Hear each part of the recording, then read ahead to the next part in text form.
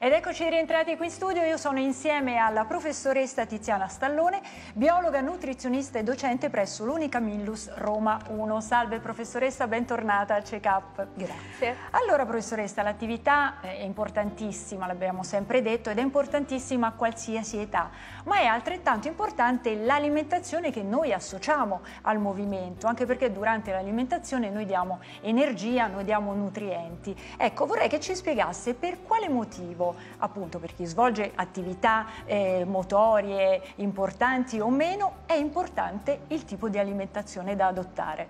La prima considerazione da fare è Camminerebbe una macchina senza il giusto carburante? Ecco, l'alimentazione è l'energia, il, carburante del nostro corpo quando facciamo attività fisica.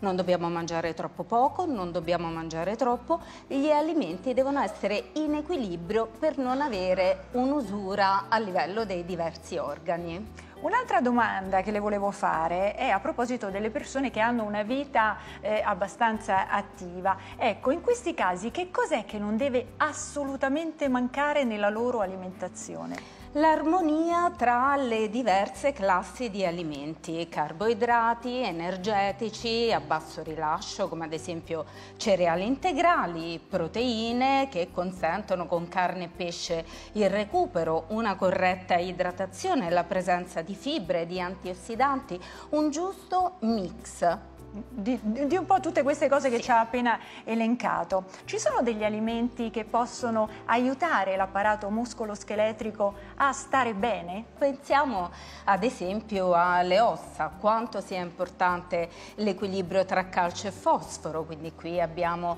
del parmigiano o la vitamina D, l'esposizione al sole e anche qui è un esempio tra le, le, alici. le alici, tra calcio e vitamina D che si prende ad esempio anche anche attraverso le lische, quindi le alicette eh, fritte. Poi andiamo invece a livello dei tendini. Lì ecco ad esempio il collagene presente all'interno e quindi vitamina C. Quindi Vediamo limoni, qui gli agrumi e sì. infine fondamentale per il benessere muscolare l'alta idratazione e poi le proteine associate ai carboidrati. Naturalmente l'alimentazione deve essere particolarmente adeguata alle persone che fanno particolare sport.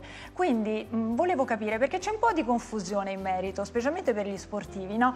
Prima di eh, fare una sessione eh, di ginnastica fatica, non sanno mai cosa mangiare, che cos'è che dà loro energia e soprattutto alla fine che cosa dovrebbero mangiare per favorire il recupero. C'è una differenziazione tra sport e sport, però possiamo dire genericamente che prima dell'allenamento, prima diciamo tra le due ore e comunque prima di un'ora, sono importanti dei carboidrati a lento rilascio, quindi ad esempio del pane o dei cereali.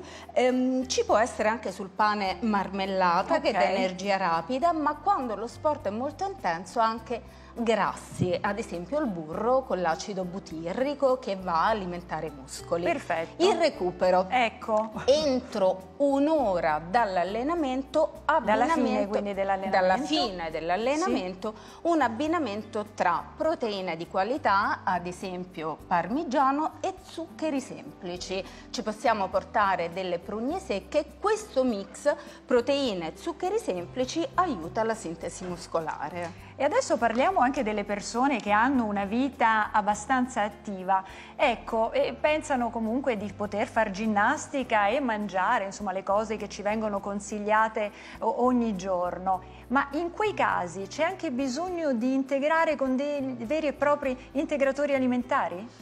Quando si fa un'attività fisica intensa, e sottolineo intensa, gli integratori alimentari possono essere utili, attenzione, consigliati da esperti e allora a questo punto possiamo avere eh, ad esempio dei prodotti a integrazione idrosalina e dentro con degli energetici, delle maltodestrine, possiamo avere anche integratori di ferro oppure mm. proteici come polveri del latte ad esempio o amminoacidi essenziali, ma non il fai da te. Ritorniamo all'attività fisica regolare che è una grande alleata della nostra salute, lo stiamo dicendo, ma un'altra grande grande alleata della nostra salute è l'idratazione. Noi l'abbiamo detto anche nelle puntate precedenti che bisognerebbe bere un paio di litri al giorno di acqua, però non è detto, professoressa, che debba essere soltanto acqua. Comunque l'acqua si può anche ovviare. È una cosa importante che le volevo chiedere anche.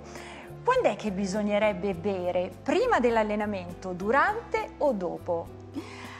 Il fabbisogno di acqua, e questa è la prima cosa, può aumentare quando lo sport è intenso e soprattutto quando si perdono liquidi e quindi si suda. Quando, qual è il timing diciamo, dell'acqua? Prima anche mezzo litro nell'ora precedente, durante a piccoli sorsi e dopo nel recupero.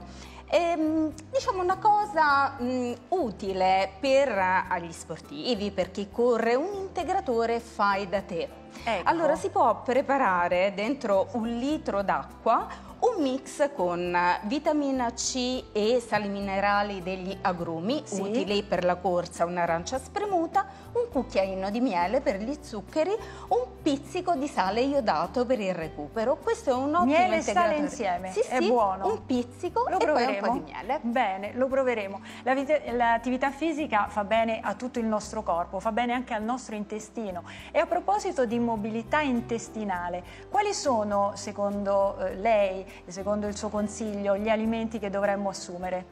Prima degli alimenti l'acqua. Bere molto. Perché posso caricare di fibre che notoriamente quelle insolubili aumentano il, il, transito intestinale, ma se non ci metto la giusta idratazione certo, non va bene. Certo. Grassi olio extravergine di oliva e poi fibre solubili come ad esempio l'inulina che è presente, non so, lì vedevo il topinamburro oppure la cicoria che aiutano anche il microbiota intestinale. Grazie professoressa Stallone, grazie, grazie per essere stata con noi. E